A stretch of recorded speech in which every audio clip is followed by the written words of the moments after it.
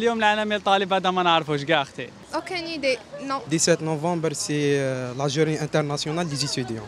أظن أن الطلبة الجزائريين يع- يعرفون اليوم الوطني فقط للطالب أما اليوم العالمي فنجد أغلبية الطلبة لا يعرفون هذا اليوم هي آراء لطلبة جزائريين كشفت جهل أغلبية من سألناهم عن ماهية عيد الطالب العالمي ويعود تحديد يوم السابع عشر من نوفمبر من كل سنة كيوم عالمي للطلبة لقصة نضال دراماتيكية. كانت بدايتها عندما قرر مجموعة من الطلبة حشد مسيرة مناهضة للنازية. يوم الثالث عشر من نوفمبر عام 1939 بمدينة برود التشيكوسلوفاكية. أسفرت عن مقتل الطالب جان أوبلاتيل وغلق كل معاهد التعليم العالي. ثم إعدام حوالي 1200 آخرين بشكل جماعي يوم السابع عشر من نفس الشهر كتصرف تصعيدي من القوة النازية.